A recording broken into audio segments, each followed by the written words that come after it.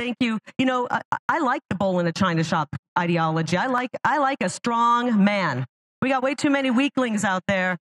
How let me hear from the ladies out there. We're tired of the beta men. We want some alpha men. And we got a number one alpha man in Donald J. Trump.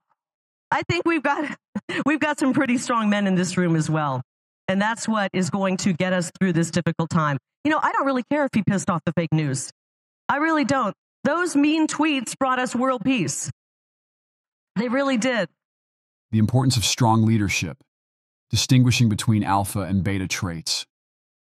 It suggests that robust leadership, exemplified by figures like Donald Trump, is crucial in times of crisis. There's a preference for vigor, assertiveness, and adherence to traditional gender roles. Critique of media, possibly biased against conservative figures, is mentioned.